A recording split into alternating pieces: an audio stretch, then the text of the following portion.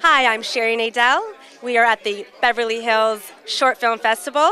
We are here to review the movie Love Stinks with director and actor Tom Kiesche and actress Caroline Whitney Smith.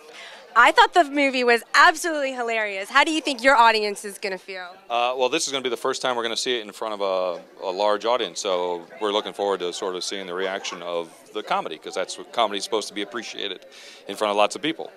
So yeah, I, hopefully they laugh.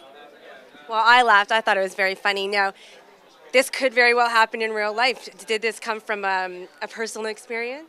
Uh, I um, I'm going to take that one.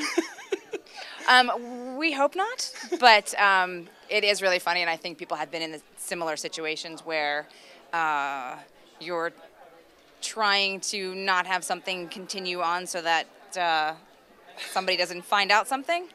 I know that was really vague.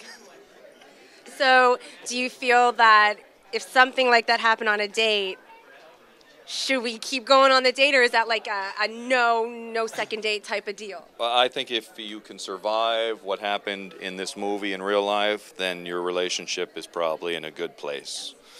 I think second date's marriage if you get through this one. Yeah, definitely. definitely. I would agree with that. So, do you typically write comedy? Uh, I mix it up actually. My last movie was a western. Uh, the one before that, sci-fi. This was a comedy, and I do a bunch of series, a series on the internet, which is half comedy, half dramatic, I guess, which is called Closet Singer.